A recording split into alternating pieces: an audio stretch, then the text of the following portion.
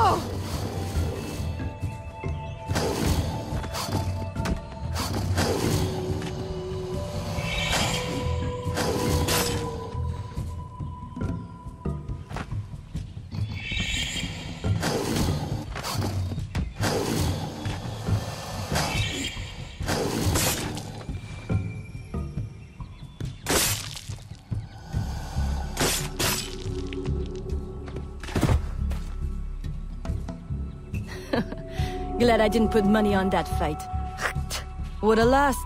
And barely a scratch on you. Now here's a pretty prize.